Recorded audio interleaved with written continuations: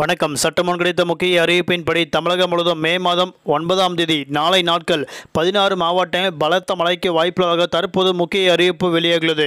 அதன்படி எந்தெந்த மாவட்டங்களில் புயலின் திசை வேகம் அதிகமாக இருக்கக்கூடும் எந்தெந்த மாவட்டங்களில் நூற்றி இருபது கிலோமீட்டர் வேகத்தில் புயலின் காற்று அதிகமாக இருக்கக்கூடும் எல்லாமே இப்போ நம்ம பிரீஃபாக பார்த்தலாம் மறக்காம ஸ்கிப் பாருங்க உங்களுக்கு மழை பற்றி பல முக்கிய அறிவிப்புகள் உடனுக்குடன் துல்லியமாக தெரிந்து கொள்ள நம்மளோட சேனலில் கீழே இருக்க ரெக்க பட்டனை கிளிக் பண்ணி சப்ஸ்கிரைப் பண்ணிக்கோங்க. பக்கத்தில் பெல் பட்டனை கிளிக் பண்ணிக்கோங்க.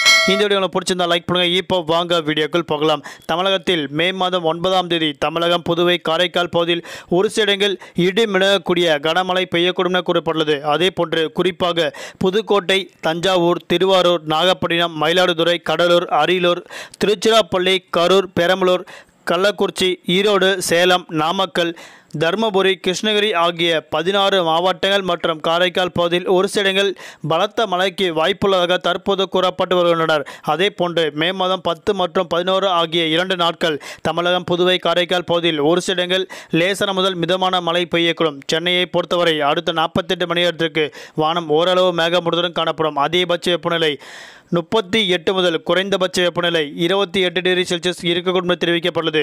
அதே போன்று காற்றின் திசை வேகம் நூற்றி இருபத்தைந்து கிலோமீட்டர் வேகத்தில் இருக்கக்கூடும் என்பதால் மீனவர்கள் அப்பகுதியை செல்ல வேண்டாம் என எச்சரிக்கை ஒன்று கொடுக்கப்பட்டுள்ளது. நன்றி வணக்கம்.